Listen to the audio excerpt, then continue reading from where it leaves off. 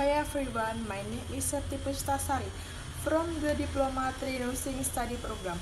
I made this video to fulfill an assignment for the basic English course from my lecturer, Mrs. Dwiana Binti Yulianti. Okay, now I will introduce you a will medical equipment. It is called medical stethoscope.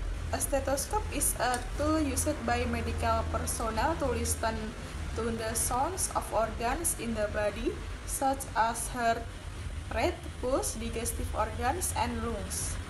Not only that, this tool can also hear the sound of blood flow and even the sound of the heartbeat of the fetus that is still in the womb. The shape of the stethoscope is long, slim, and round. It is made of rubber and metal pipes. Stethoscope is sound is used to listen to the heartbeat, the, to listen to the lungs, and can also be used to examine the abdomen for bowel sounds or breathing sounds. The stethoscope has four main parts. One, earpiece, the earpiece is the part of the stethoscope that is attached to the ear to hear sounds from to the internal organs.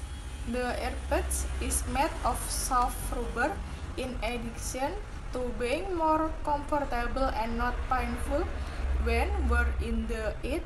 The rubber material can also help hear sounds for, from outside. 2. Tubing Tubing is part of to the stethoscope with it the form of a thin and long tube resembling a hose, which function to transmit, transmit sound from diaphragm or bell earpiece. 3. Diaphragm The diaphragm is a thin, flat membrane and the end of the head of the stethoscope which is made of circular plastic disc. This diaphragm has a special function to listen to high frequency sounds or sounds such as wheezing in the lungs.